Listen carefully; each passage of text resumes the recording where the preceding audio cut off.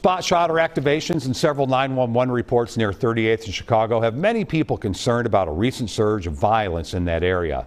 Since the intersection known as George Floyd Square reopened to traffic last summer, the number of shootings and violent acts had actually gone down. WCCO's Reg Chapman spoke with a group that works to stand in the gap between the community and police to try to promote peace. The only community probably in the United States um, that has had to self police. For the past 20 months, the area surrounding George Floyd Square has served as a memorial to a life lost. But we had over 120 days inside the square.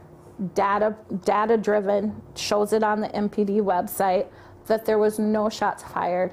Agape Movement's Bridget Stewart says three recent violent incidents should not take away from the positive work going on near 30th in Chicago. One of them happened to be inside a private residence.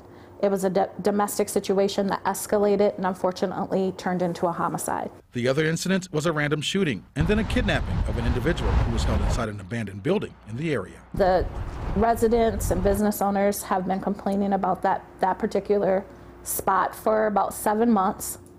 And unfortunately, it became a encampment for homelessness.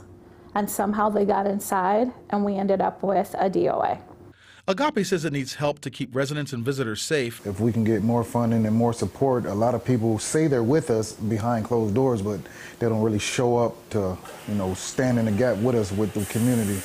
The group is encouraged by the attention to the area given by new 3rd Precinct Inspector Jose Gomez. The new Inspector Gomez, who has really decided to stand up and say, hey, I am for the community.